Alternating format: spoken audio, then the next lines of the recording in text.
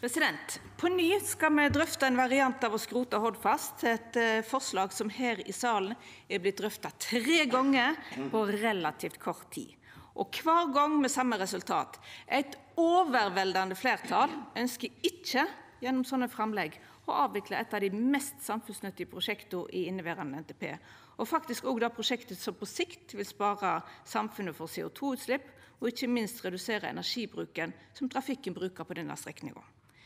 Det er verdt å minna om at E39 Ådland–Svegatjørn er eit vegprosjekt som strekkjer seg over heile 55 km og skal gje Noregs to nest største byområde ein tenleg og moderne veg for ein million menneske og 500 000 arbeidsplassar. Representantforslaget denne gongen er sett fram av MDG, og det er SV som fremjar forslaga som ligg føre i innstillinga. Det fyrste forslaget ber regjeringa om å avvikla Ådland–Svegatjørn i komande NTP. Det vil statsråden ikkje gjera, og viser til den pågåande prosessen med NTP.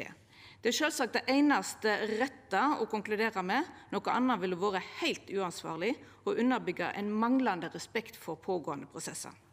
Det andre forslaget ber om at regjeringa i samråd med fylkeskommunane skal syta for eit betre ferjetilbod for E39 Ådland–Svegatjørn og andre ferjeovergangar langs føreslått E39.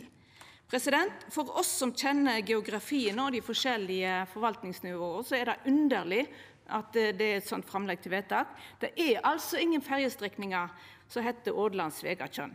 Dette er eit vegprosjekt, og det er heilt ferjefritt.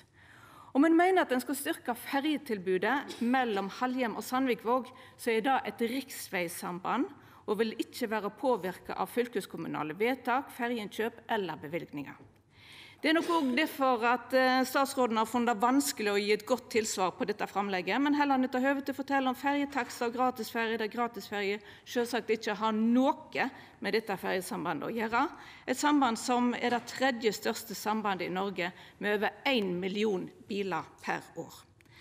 Det siste framlegget går på å sikra nullutslepp og leggja til grunn anbodsrundar for ferjer med nullutslepp på denne strekninga. Alle ferjeanbod i Noreg skal bli nullutslepp, og det er eit pågåande arbeid i regjeringa som jobbar med dette. her.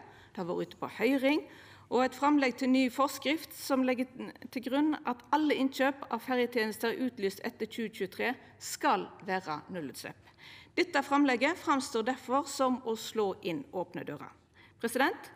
For dei framlegga som ligg i bordet, rår eit fleirtal i komiteen til at dei ikkje vert vedtekne, og eg kjem tilbake med nærmare utgreiingar og utdjupa dei standpunkta som Høgre har i saka.